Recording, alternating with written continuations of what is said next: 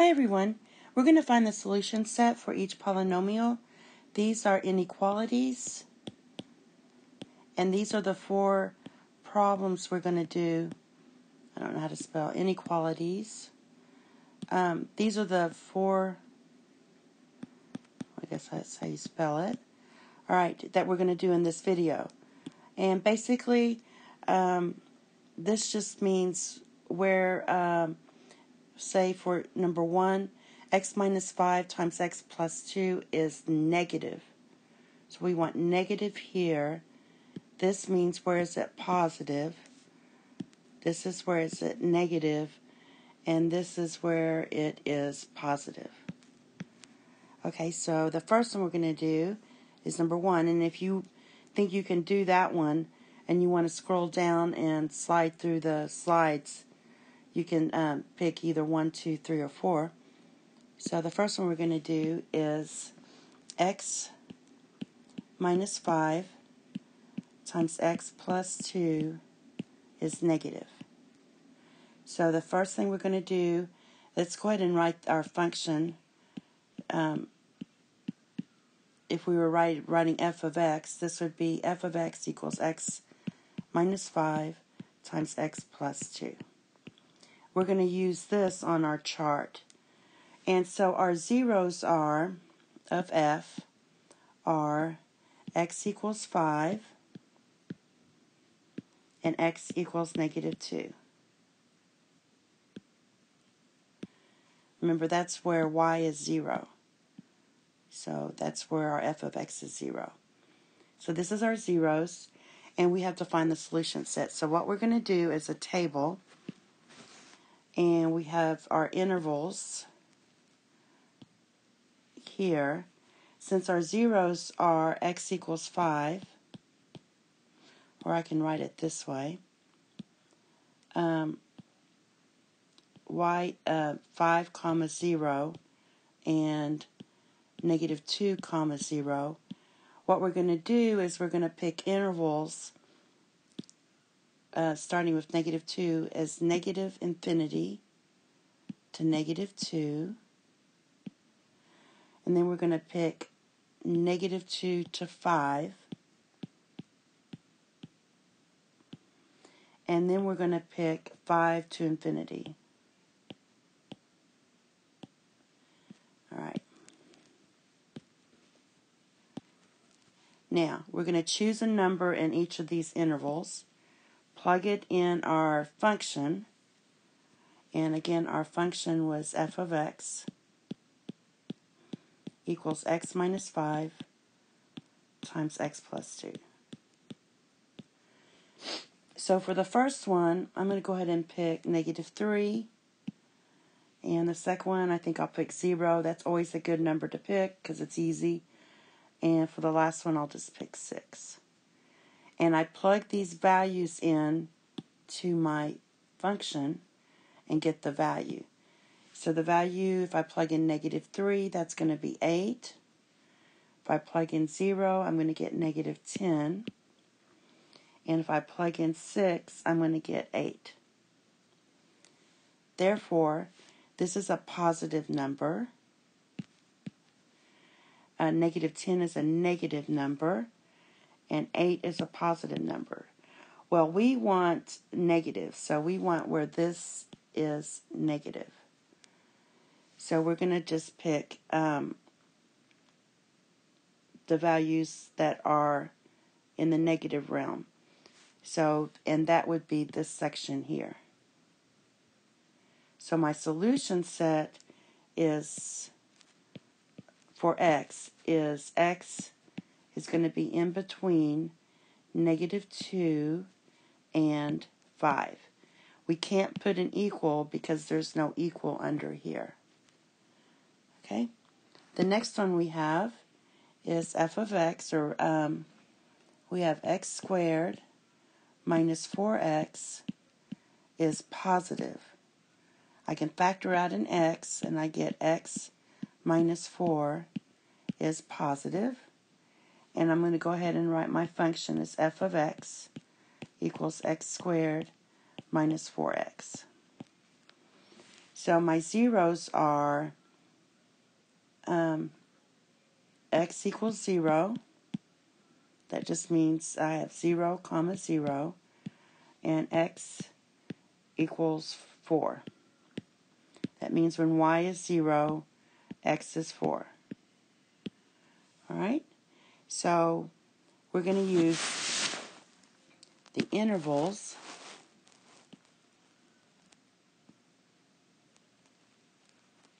We're going to use, um, since one of my zeros is negative, uh, my zero is 0, and my other zero is 4, I'm going to go from negative infinity to 0. Then I'm going to go from 0 to 4, including this. All right, and then I'm going to just take this one and go 4 to infinity. Now, I'm going to choose numbers in this realm. You can pick any numbers you want.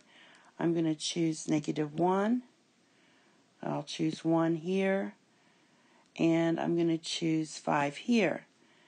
Now recall we want f of x equals x squared minus 4x, and we want this to be positive. So when I plug in my value into this equation, I get, when I plug in negative 1, I get 5.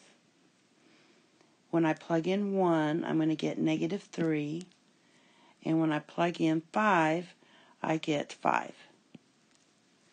So my conclusion is, and all you have to do is look at the sign. This is positive, this is negative, and this is positive.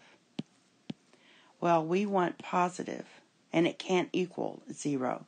So our solution set is going to be x such that, since this is the positive, these are the two positives.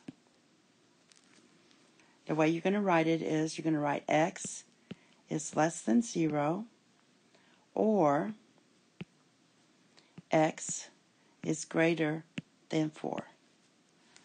I'm picking this number and this number and using those intervals. Okay, the next one is going to be uh, x squared minus 9 is less than 0. That would be f of x equals x squared minus 9, which we want it to be negative. If I factor this, this is going to be x minus 3 times x plus 3 is negative. So my zeros are 3 comma 0 and negative 3 comma 0. Those are your x-intercepts. So we're going to use those numbers to do our table. So for the negative 3, I'm going to go negative infinity to negative 3. Then I'm going to do uh, negative 3 to 3. Then I'm going to use 3 to infinity. Okay? And you just choose numbers. The ones I chose were negative 4, zero. Again, zero is always a good one if you can use it. And four. When I plug it in to my function, which is f of x equals x squared minus 9, when you plug these values in, you're going to get 7, negative 9, and 7. So the conclusion is this is positive, this is negative, and this is positive, and we want the negative. So the only ones we want is this column here.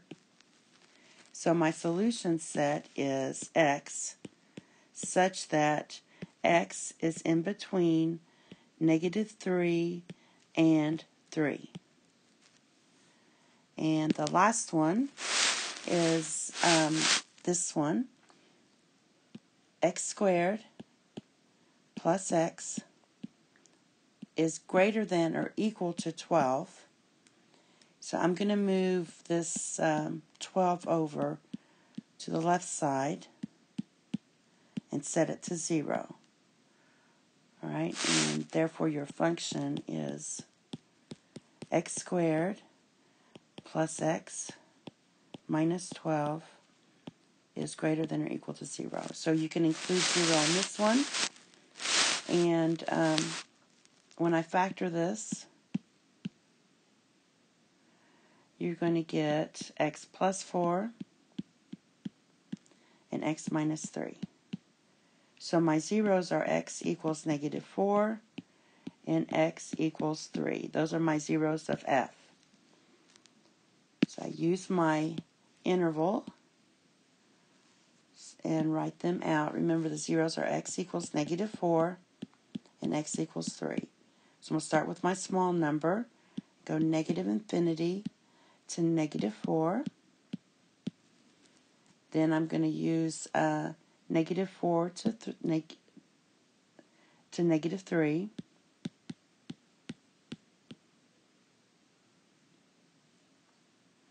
Well, it should be positive 3. Sorry. I knew something was wrong. So x equals positive 3. And then the next one is 3 to infinity. All right, and we're going to choose numbers. And the numbers we're going to choose are negative 5, 0, and 4. And when I plug my numbers in to uh, f of x equals x squared plus x minus 12, I'm going to get 8, negative 12, and 8, which means this is positive, negative, and positive. And we want this to be positive. So we're picking these two.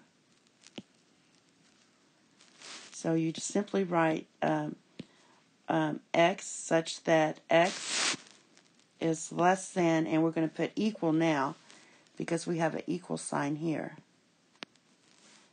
is less than negative 4 or x is greater than or equal to 3. Okay, that's all. Thank you. Have a nice day. Bye bye.